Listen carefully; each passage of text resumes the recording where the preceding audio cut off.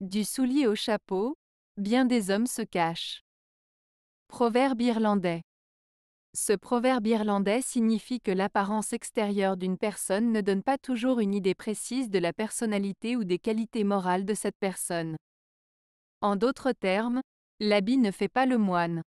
Il faut souvent apprendre à connaître une personne de l'intérieur pour savoir qui elle est vraiment, au lieu de se fier uniquement aux apparences.